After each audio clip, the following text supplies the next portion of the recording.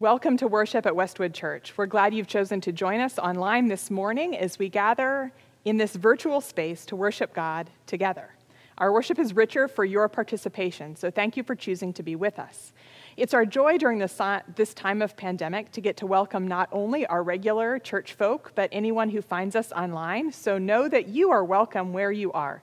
We hope you'll participate as much as you're able from where you are. If you haven't already, please print out our worship guide. The link is in the post. It will give you the words and the music to be able to sing with us and pray with us as we lift our hearts to God together. Our community is one that values and celebrates the diversity of our congregation, and we work to include and celebrate the gifts of that diversity as it, they cross lines of race and gender and sexual orientation and all other diversities. Welcome into our midst. Let us join our voices together as we sing a Charles Wesley hymn in our gathering.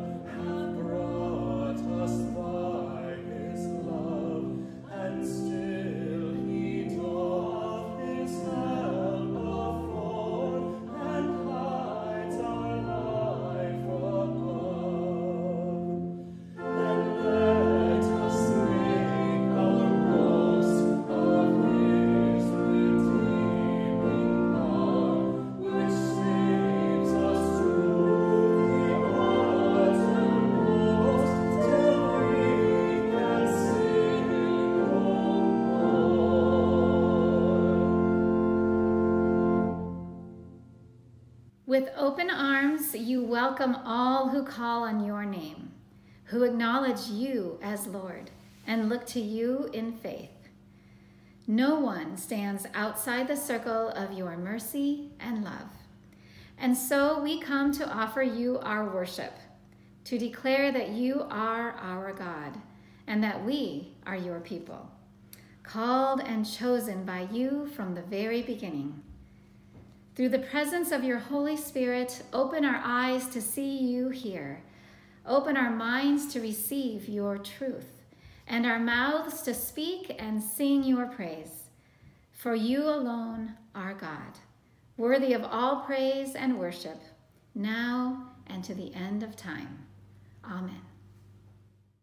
Hello, I am Diana Holbert, the pastor of children and families ministries at Westwood United Methodist Church. Hi, I'm Ryan Dobson. I'm the youth director at Westwood. For most of our children and youth, school starts this week. And while it's going to be different in this turbulent year, our church wants to offer a back to school blessing for our students, our teachers, and our parents and to commit ourselves as a community to their support. So, first of all, students, young and old, whether you're starting kindergarten or high school or a PhD program, we care about you. Um, we want you to know, first of all, that we want you to be safe. Second of all, we want you to learn. And third of all, we want you to know that God cares about you every minute of every day and every night. When you get frustrated, we hope that you will turn to a family member and get some help. When you need an encouraging word, talk to Ryan and talk to me, talk to anybody at church for that. When um, you need the guidance um, then ask for help from your school. Do what you need because we ask for God to bless the whole kit and caboodle with your patience, with God's laughter and peace and friendship. Dear teachers, your work is holy. We believe it is the work of God. We know your job has become more complex and more difficult this year, but we also believe it has become more essential. When so many young minds are in danger of losing their way because of the tumultuous time in which we find ourselves, the chaotic seas of a global pandemic, they need your light to guide them safely to harbor. We ask God to bless you and bless your work, to magnify your effort and care for the sake of the young in our community. And for parents, we've heard your anxieties. Uh, we know what is um, the, the worries about what's happening with homeschooling, while you also try to work from home. We know that you may, may be worried about not being able to catch your breath, to have some downtime of your own, or to feel satisfied that your children are learning something that they need to know. Please know that your church community supports you. We ask God to help you find the balance you need, for you can do all things through Christ who strengthens you. And lastly, dear church community, we bring a charge to you and a blessing for the task. We ask you to bolster these students, these teachers, and their parents. They are your community and they need you this year. If we are all to thrive on the other side of the storm, then this is your task during the upcoming school year. Encourage, pray, offer help, be a listening ear, send a meal. Lift up these students, their educators, in class and at home, so they might more fully become who they are created to be. Amen. Amen.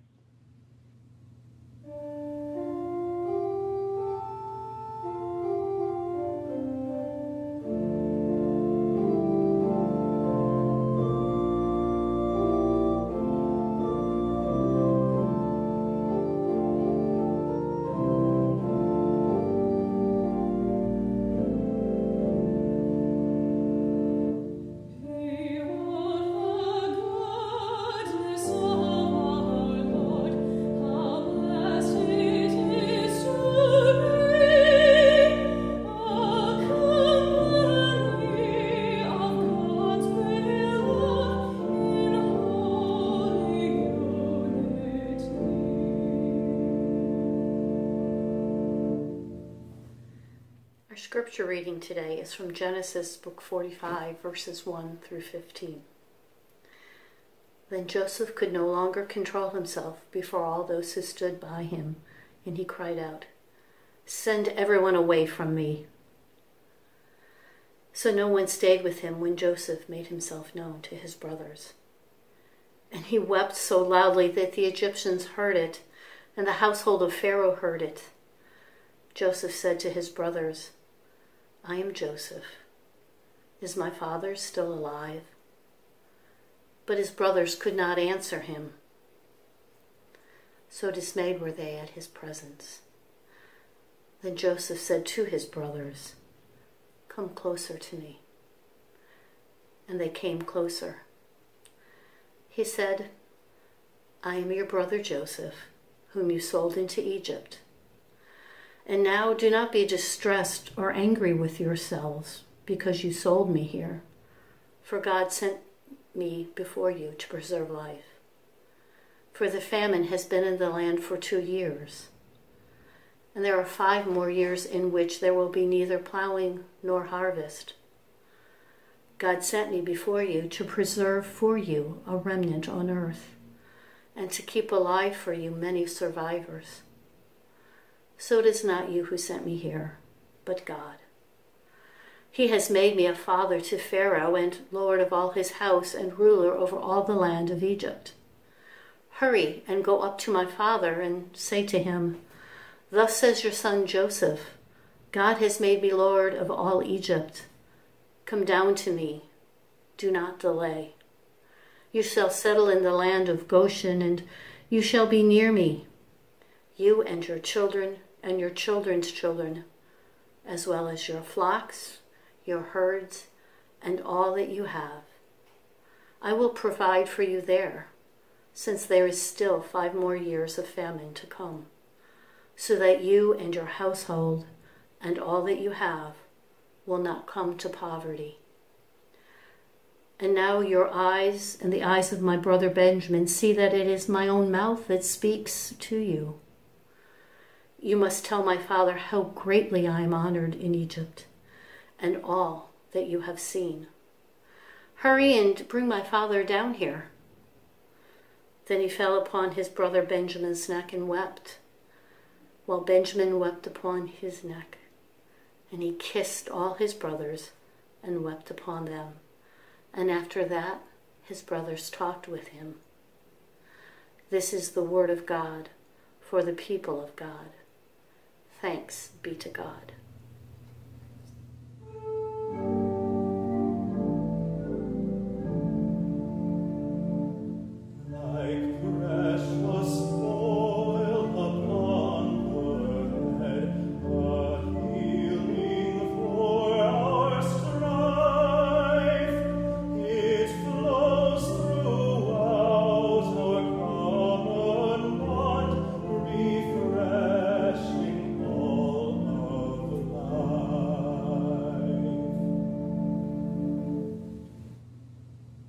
Our second scripture reading is Psalm 133.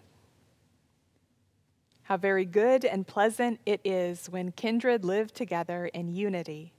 It is like the precious oil on the head, running down upon the beard, on the beard of Aaron, running down over the collar of his robes. It is like the dew of Hermon, which falls on the mountains of Zion. For there the Lord ordained blessing, life forevermore. This is the word of God for the people of God. Thanks be to God.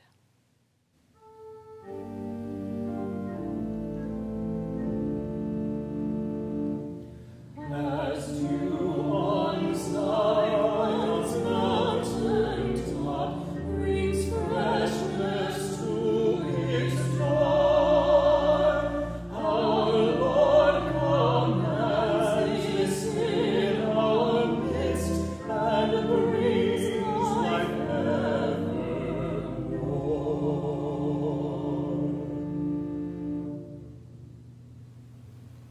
Let us pray. O Holy Spirit, I pray that your presence would be clear to us where we are, that my words and our thoughts and our lives would reflect your grace. We pray in your holy name. Amen. We've just read and sung words from Psalm 133, which describes the goodness and pleasantness of living together in unity. A reminder that even in this time of dislocation and isolation, of staying safer at home, we are nonetheless bound together in a unity that is both good and pleasant, that brings delight and joy to the world, that reminds us that we're not stuck alone, that helps us believe that we are held in a community that is of value. There's so much in our world right now that seems to be isolating and polarizing us. And so hearing these words reminds us that this is something we value, that's something real, and that it's true. I want to offer my thanks to those of you who were able to join last Sunday for our big Zoom small conversation. I found such delight and energy in a live gathering on Sunday morning where I could see your faces and where I know that you, like me, got to participate in a bunch of short conversations where we could hear from each other and see each other, even virtually, face to face. It was a good reminder that this thing we're doing now, that we're still doing it together, that we still belong in the body of Christ and in this congregation, that even scattered across the vast geographies who might be able to access, access this online, we are united in one body of Christ, that we belong in something bigger than ourselves, that's more than our individual selves. Our unity is a gift that comes by virtue of who Christ is.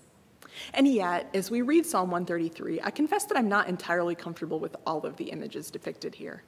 This tradition of oil anointing the head and beard of Aaron, so much so that it runs down and gets on his collar, is one that leaves me slightly uncomfortable, not only because uh, anointing heads with oil has ceased to be a customary way of welcoming someone into a home or space, but also because this anointing with oil on heads and beards leaves out women and isn't the way we bless leadership in our communities, in our religious communities, or our world.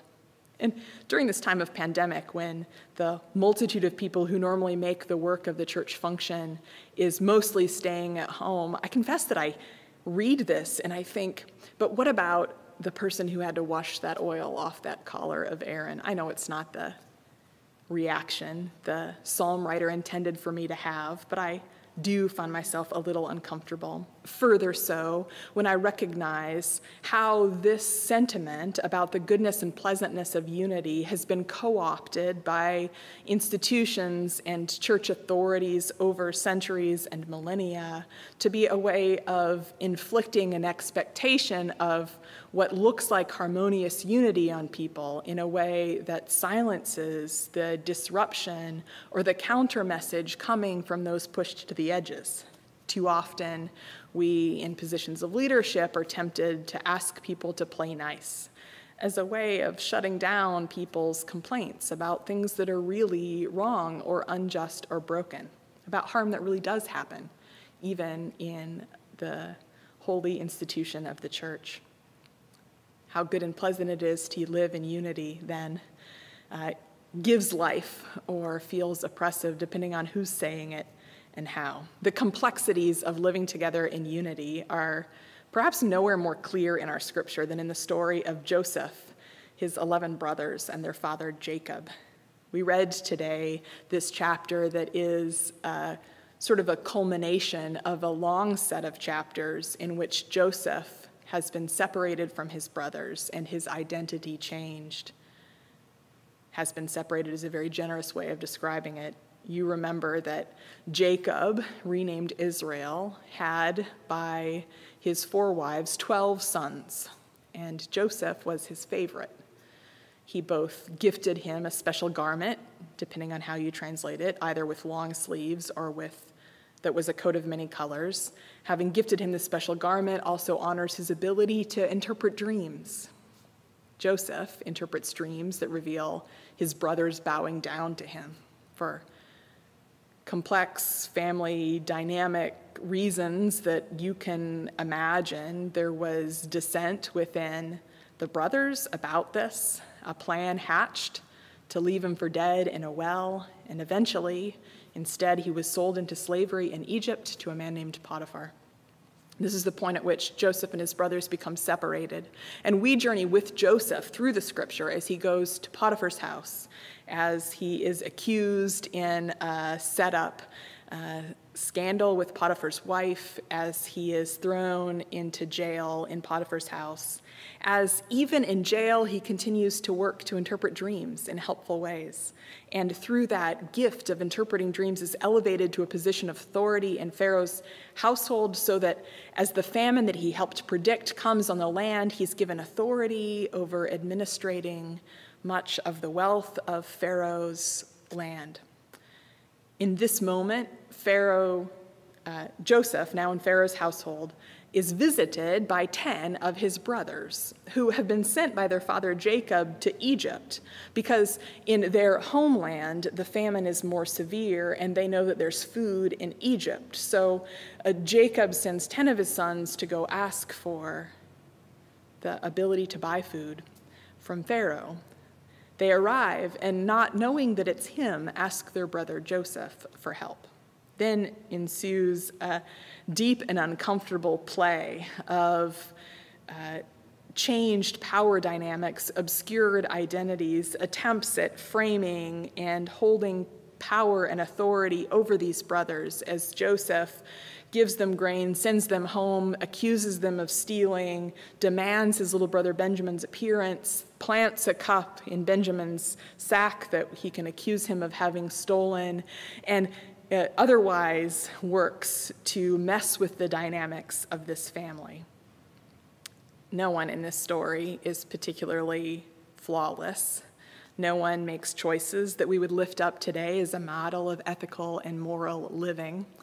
The story is fraught with layers and complexities that make it difficult to read as a moral tale with one answer of a universal law that should apply to our behavior. Instead, in Joseph's story, the story of his brothers and his father, I hear the reality and comp- complexity of our human lives, the dynamics, the layers of harm and trauma that make us the people we are now as they share together in the reality of trying to survive in the midst of famine, of trying to navigate family life and rivalries, of imagining and wanting power over or above anyone else.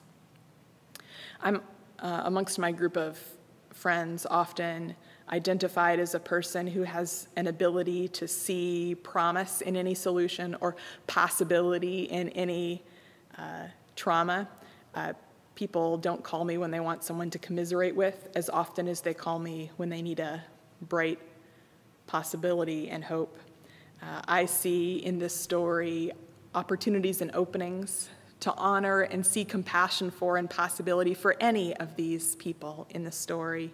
They are all in some way victim of harm and oppression that they did not deserve, and they all in some way perpetuate harm and oppression against others. It's difficult to lift Joseph up as a virtuous uh, role model, and yet in the passage that we read today, we find Joseph speaking graciously and forgivingly about his ability to provide for this family that had sold him into slavery and counted him as dead. It's hard to imagine the transformation that would have taken place that makes this kind of thing possible. It's easy to accuse Joseph of wrongdoing, particularly in these chapters immediately preceding the verse we read today, as he manipulates the brothers and sends them back, as he conceals who he is and attempts perhaps to exact some kind of revenge or to test out who they really are. And yet, I find a deep compassion for Joseph as one who has experienced so many layers of trauma, so many uh, now decades of harm from his family who didn't understand him and sold him out, literally, into slavery.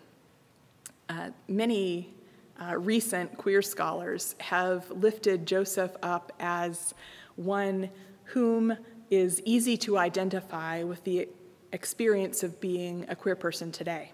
They single Joseph out for a number of characteristics that make his story relatable to the queer experience. He is something of a, a poet, a dream interpreter, a healer, and a prophet who has a gift and ability that don't sit well in the reasoned and um, task oriented world that he inhabits. He is special and misunderstood and undervalued. The coat that he receives, translated as a coat with long sleeves or a coat of many colors, is uh, shows up in Scripture only in one other place, and there it is described as the garments worn by the virgin daughters of the king. And so you might say that he was given a princess dress. Uh, the rabbinic interpreters of Scripture also described as Joseph went to Egypt his taking on of the customs of wearing eye makeup and jewelry of the Egyptians, inviting space for an understanding of Joseph as existing in some kind of space that pushed against the tidy gender expectations of his time, that pushed the boundaries of how that would be expressed and how a person dressed or looked or carried themselves. In any case, Joseph is a person who shares a common experience with too many LGBTQ persons in our community, in that he is not only cast off from his family, but in Joseph's story, he's literally sold into slavery. He becomes as dead to them.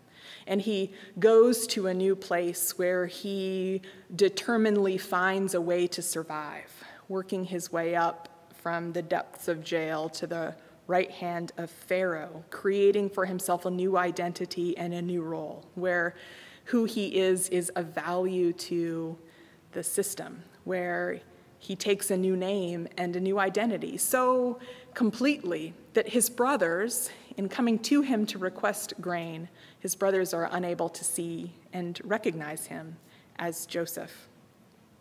It's unclear why this happens. If it's because he's so completely changed his sense of identity, how he carries himself, how he's known, that they don't recognize him, or if it's because they never saw or identified himself as he truly was. And so it's their own limitation of perception that refuses to see him now.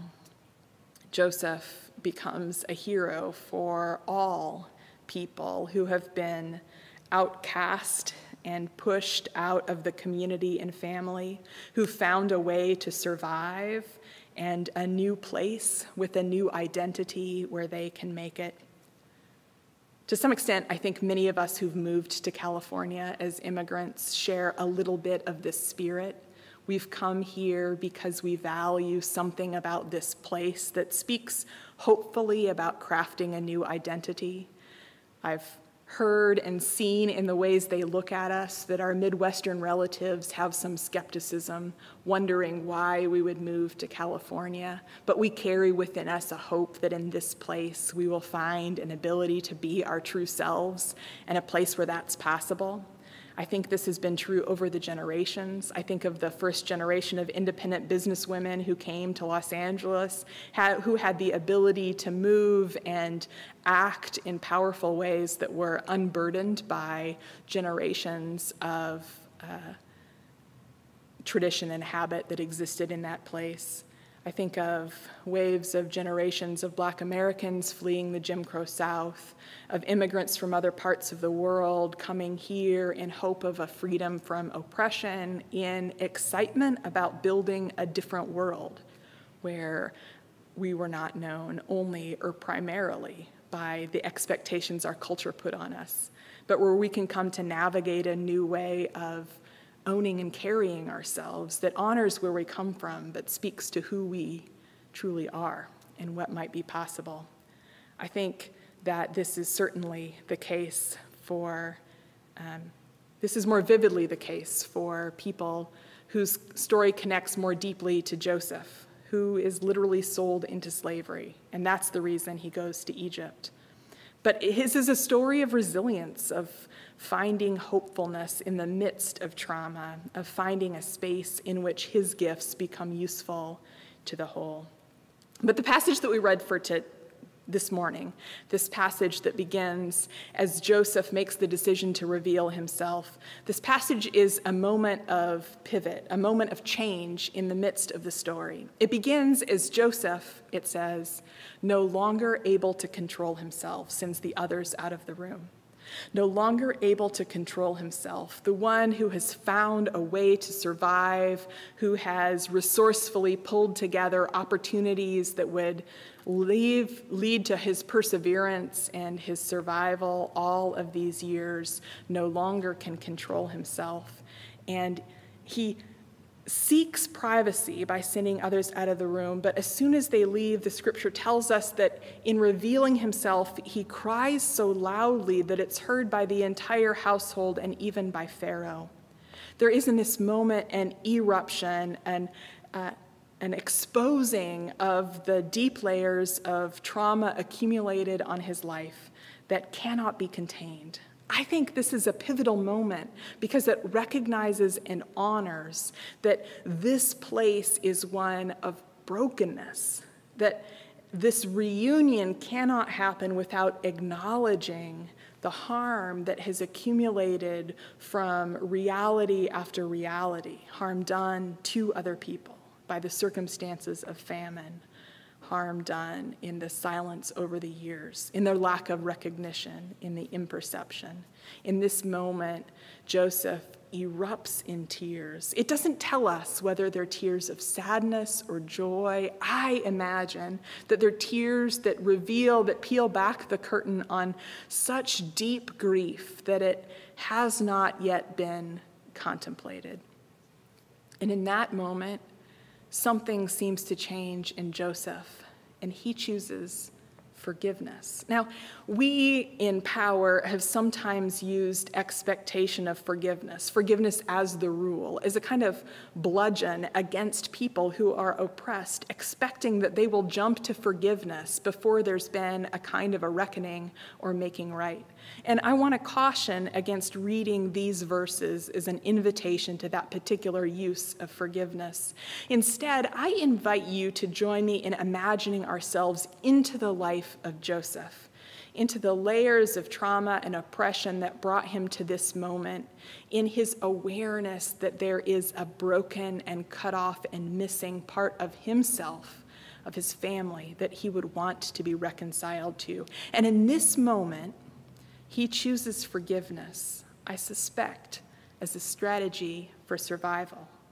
Dr. Luther Smith, retired faculty member of Candler School of Theology, taught a class I attended on the body as a place of spiritual formation. And in it, he talked about trauma as a formative force in our spiritual lives, on the importance of noticing and honoring the trauma we all experience. And in this moment of pandemic, all of us bear the heaviness of the trauma of this moment. Some of us bear it even more poignantly as the complexities, the reality of this pandemic comes close to our homes and hearts, as we grieve the loss of loved ones, as we bear the burdens of being healthcare givers and essential workers, as we try to navigate how to be families schooling our children from home, as we live single and alone in isolation for an increasing accumulation of days.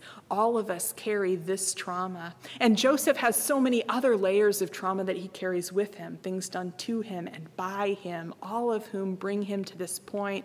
In this moment, uh, Luther Smith helps me see Joseph's choice of naming his ability to give life in the form of land and food to his brothers and family as a way of choosing a forgiveness that lets us survive, that lets him survive. Forgiveness becomes a survival strategy because it frees Joseph from being owned and controlled by what has happened to him or be, has been done to him. So, forgiveness is not a virtuous ethical ideal that we ought to impress on Joseph, but a way that Joseph has to make a future that speaks of life for him as well as the community. And this is how the things of God work. They end up being life for us, but also for others. They require discomfort and change, but they lead us toward a hopefulness and a life giving reality that's possible only when we submit ourselves to seeing a bigger picture, to letting ourselves off the hook or others off the hook, to letting our hearts be broken open in a moment of uncontrollable tears so loud they can be heard by the household of Pharaoh. In these moments, there are so many reasons we have to cry loudly, to draw attention to the brokenness that too long has limited and shaped our communities and lives, to the way violence and oppression, the way racist systems and policies, the way our own lack of forgiveness has deformed us into a people who are owned by what has been. In this moment, I hear an invitation to let ourselves dare to be broken open. This requires the trust that it's going to be okay, or that God's going to be with us, or that we have a container that can hold some of our grief maybe a container to hold our grief is a little inaccurate. After all, the oil ran off of Aaron's head and beard and overflowed onto his collar. This work is messy and uncomfortable, but it's an invitation to know blessing and goodness that's possible, that we can attain only uh, through honesty, through becoming our truest selves, and by allowing others to be their truest selves. Our Christian tradition is built on an affirmation that comes in the goodness of creation, that comes in the incarnation of Jesus Christ, whose very being declares the goodness and worth and value of this world and all those who inhabit it. This, that's declared through the Holy Spirit, whose life is breath that inhabits our very bodies and lungs and gives us to believe that we are drawn together in something bigger than ourselves, more permanent even than our own life, a love and life that is eternal eternal. Trusting in that, we let ourselves be broken open, we let go of our control, and we find a space for a way forward that is forgiveness and healing and life, that is justice and peace. May it be so. Amen.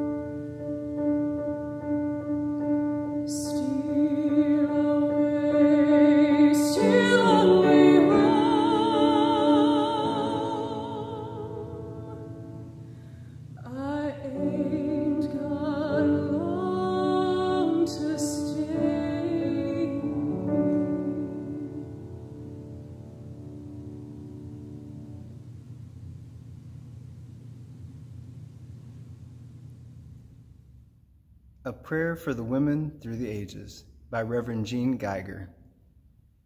Spirit of renewal, God of many names, and one transforming and abundant love, we turn in this moment in our nation's life to reflect on the stories, the heritage, and the struggles of the women throughout the ages.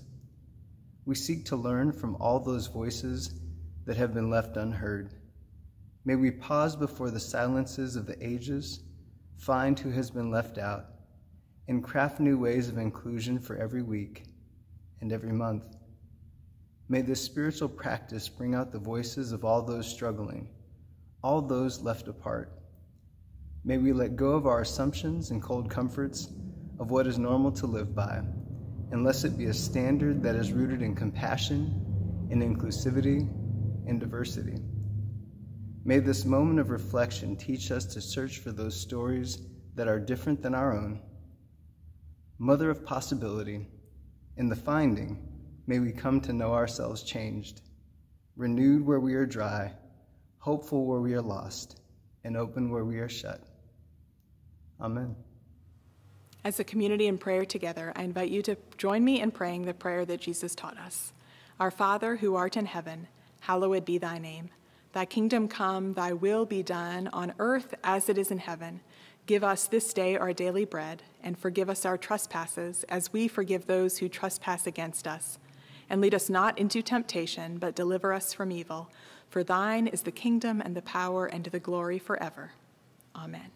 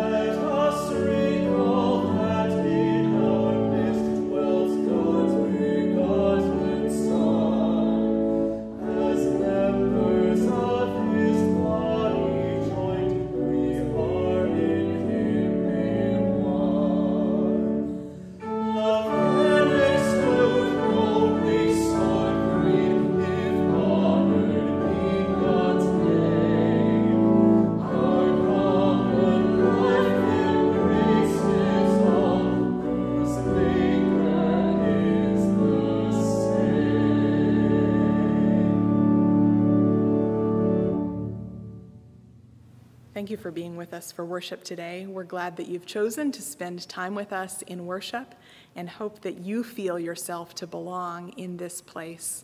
Whether you're joining us only virtually or are accustomed to being here in person, we're glad that you're with us. If you haven't already, I hope you'll say hello in the comment section below or wish peace to one another as we attempt to gather together as community in the midst of the limitations of this moment.